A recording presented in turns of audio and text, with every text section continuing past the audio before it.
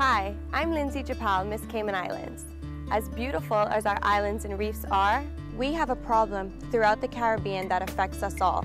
Lionfish have invaded us. This ferocious species is destroying our native fish life and reef systems. Since lionfish have no natural predators in this region, spearing and hunting them are essential to preserving life in the beautiful Cayman Islands. And Chef Thomas here at Michael's Genuine has the perfect solution. He's going to prepare my favorite lionfish dish.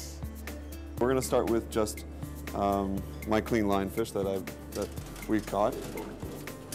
So we've already Despined it, yeah. Yeah. It already has these spines off, which are the ones that are the venomous ones. But once these venom, venomous spines come off, it is a completely safe fish. It's very similar to flounder. We're going to dice them. Every, everything in this dish is just balancing itself out. So pungent, fragrant, sweet, a little fatty, uh, papaya, and a little mixture of scallion and cilantro. And a little bit of juice. Done. That's it. So, this is my favorite part. Now it's time for the tasting.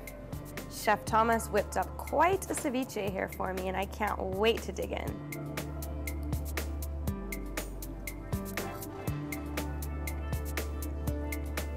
Mm. Oh my God, it's perfect. Take a lionfish to lunch and eat it.